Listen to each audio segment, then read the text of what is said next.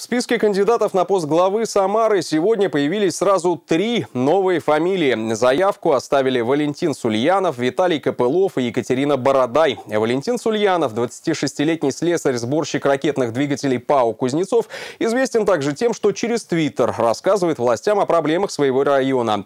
Благодаря его гражданской активности удалось отремонтировать тротуар на проспекте Карла Маркса в районе пересечения с Советской армией, а также установить там дорожные знаки.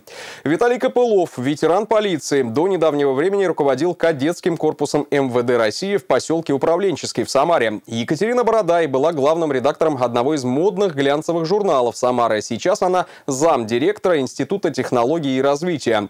Организация занимается дополнительным образованием, работает с информационными технологиями, а также ведет деятельность в правовой сфере. Всего на кресло градоначальника претендуют 13 человек. Прием заявок будет закрыт 18 декабря, а именно нового руководителя станет известно до 22-го. Напомню, главу города, согласно уставу, с 2015 года в Самаре выбирают по новой схеме. Кандидатуры утверждает сначала конкурсная комиссия, затем их выносят на голосование депутатов городской думы.